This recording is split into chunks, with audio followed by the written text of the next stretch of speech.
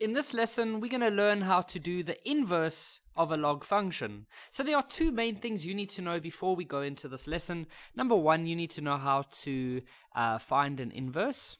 Let me quickly show you how to do that. I'll show you with a basic example of a straight line. Let's say we have y equals to 6x minus 8. To find an inverse, you first have to switch x and y around. And of course, I've made videos on this in the past, but I'm assuming, or maybe you're a student who just hasn't had the time to go through all of that. So let me quickly give you the basics. So step one, you see what we did? We switched x and y around.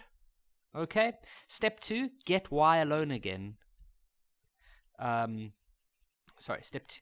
Uh, this is step one and then step two, get the y alone again. So that would be like x plus 8, because I took the plus the negative 8 over, and then you'd divide everything by 6, and so you'd end up with that. Okay, so that's how you take an inverse. The next thing you need to remember is how to how to switch between um, from an exponential, or sorry, from a log to an exponential. Okay, I've got notes on that in the in the next slide, so I'll, I'll show you how to do that. So let's get started. So here we have um, a log equation, and they want us to find the inverse. So to find the inverse, step one, switch x and y around. That is your first step. Switch x and y around. There we go. Now, you have to try get this y by itself. So that's where I want you to follow this, okay? So look at this equation. It's a log equation. So scratch that one out and just copy what you see here. So the number that is next to the log, which is this one, call that the base, okay? That's your base. Then this part here, I want you to label that as other. And then this part here, I want you to label that as exponent. Okay, then now scratch that out because you've used that. And then let's see here. Now, this is what I want you to rewrite it as. So I want you to put the base first, so that's 3. Then I want you to put the exponent, which is, we labeled that as this one and then I want you to put the other, which is the 2y. Look at that. Then I want you to just get y by itself by just dividing by 2.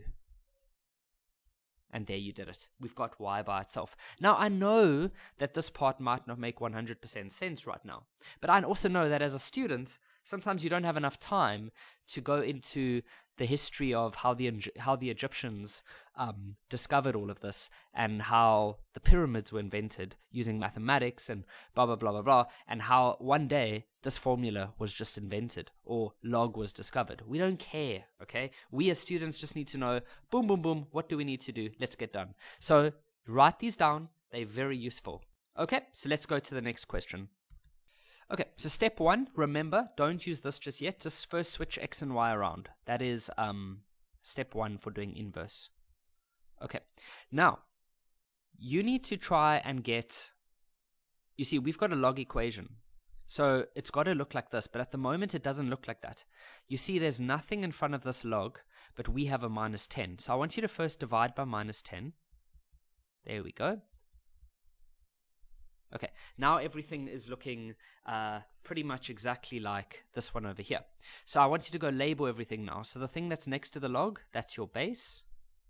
Uh, this part here is what we're going to call other.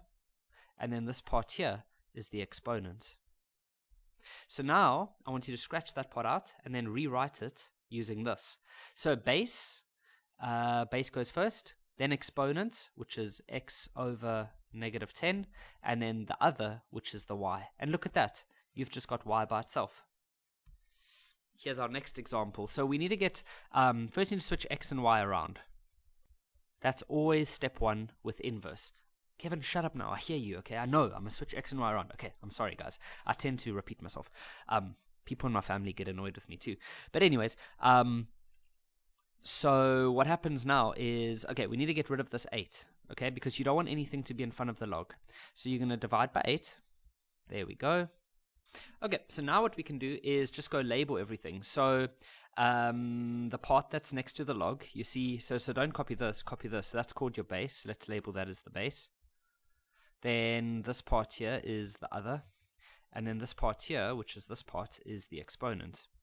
Okay, now scratch this one out because now we want to rewrite it. You see, we want to rewrite it from a log we don't want it in a log anymore. We rather want it to be written as an exponential.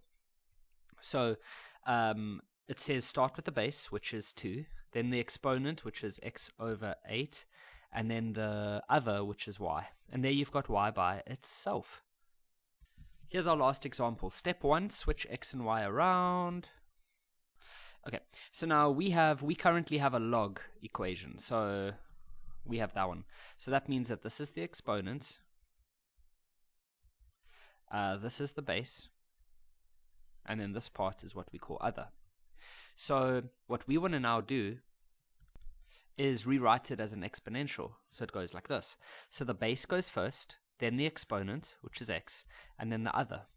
Now we we need to get this y completely alone, so I'm going to take that plus 10 and take it to the other side. And so we're going to end up with y equals to 6 to the x and then take away 10, and that would be your final answer.